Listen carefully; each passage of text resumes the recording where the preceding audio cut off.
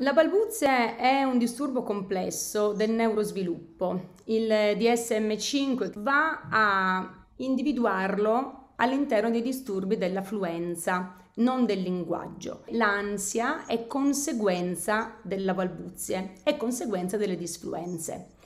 In realtà sappiamo che eh, c'è una multifattorialità che ha a che fare con la balbuzie, quindi sicuramente c'è una componente genetica, ma deve esserci anche una componente che ha a che fare con l'ambiente, quindi come l'ambiente risponde a, al bambino, alla persona che tende ad avere queste disfluenze, c'è una componente che ha a che fare con il linguaggio stesso e una componente psicomotiva propria dell'individuo. La maggior parte dei bambini sviluppano la balbuzia fra i due anni e mezzo e i quattro proprio perché ha a che fare con il neurosviluppo. Ci sono però anche persone che iniziano a balbettare a 5 anni, a 7, a 15, a 25. Ci possono essere, eh, come dire, degli eventi che hanno a che fare con un trauma vissuto, sono molto rari però. Sicuramente la cosa che possiamo dire è che l'intervento precoce, questo soprattutto per i genitori, è fondamentale. C'è veramente un, una finestra magica che dobbiamo sfruttare nella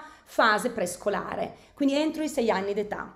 Quindi i primi sei mesi, anno dall'esordio, c'è da tenere monitorato il bambino, c'è da portarlo da uno specialista, non necessariamente per iniziare una, da un, un intervento, ma sicuramente perché possa lui stesso valutare se è il caso di iniziarlo o tenerlo ancora monitorato, perché magari c'è la possibilità di una remissione spontanea del sintomo. Sappiamo che la balbuzia per il 75-80% dei casi può avere una remissione naturalmente spontanea, ma se dopo i sei mesi hanno la cosa persiste, bisogna assolutamente intervenire, non aspettare i sei anni, quindi iniziare 7-8. Chi interviene in maniera precoce ha la possibilità di un rientro, di agevolare questa spontaneità nel rientro dei sintomi. Quali sono gli errori che un genitore può fare in questa fase? I genitori possono fare tante cose corrette e qualcuna scorretta. Quelle scorrette, da sua richiesta, sono sicuramente far notare al bambino che si sta inceppando.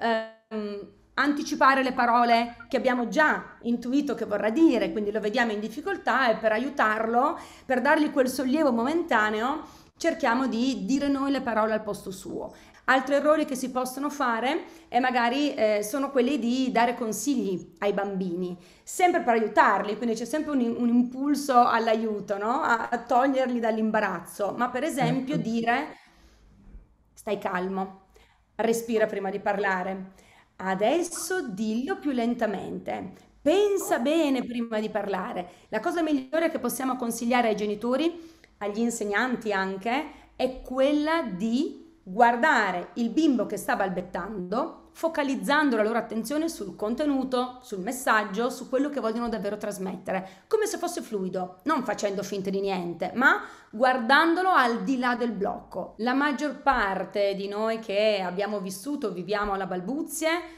non balbettano quando cantano, ma neanche un attore che sale su un palcoscenico. Quando sei sul palco e che tu canti, che tu reciti, sei molto presente in quello che stai facendo, sei molto dentro nel caso del canto, a quel suono, a quella lettera che devi associare a quel battito, al ricordo del contenuto della eh, canzone stessa, non hai tempo di pensare, oddio, quello mi sta guardando, non si attivano vecchi meccanismi o abituali meccanismi. Dottoressa, lei è una psicologa, ma è anche fondatrice di questo metodo psicodizione. Come agisce, come si affronta la balbuzia e come si supera quindi la condizione di disagio che crea? In psicodizione, che è la metodologia che noi utilizziamo, lavoriamo su questo. Lavoriamo intanto su un percorso tecnico, nel senso che devo ridare alle persone, bambini, adulti, ragazzi che siano, il controllo sui loro suoni. Spesso e volentieri chi balbetta tende a eh, avere paura poi di alcune lettere, la A, la TR, la P, ognuno magari ha la sua privilegiata in negativo, ma riprenderne il controllo vuol dire togliere la paura e comprendere anche quello che naturalmente fai di corretto quando sei fluido. Perché ricordiamoci un balbuziente non è una persona che balbetta costantemente, anzi, per lo più parla benissimo, tranne. Il secondo aspetto che trattiamo in psicodizione è quello proprio del gestire l'emozione.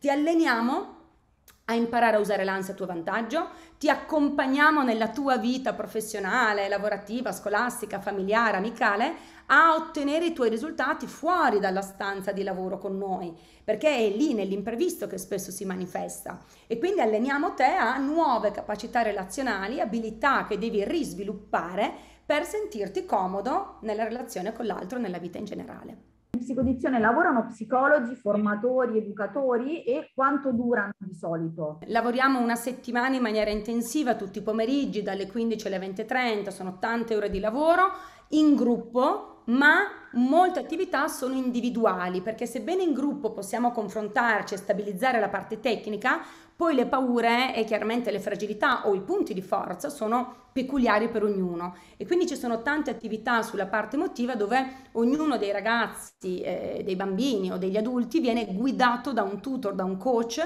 che li accompagna nel loro mondo personale ottenendo i risultati. E quindi è molto bello e soprattutto il dopo corso è molto ben strutturato in psicodizione perché è lì che facciamo la differenza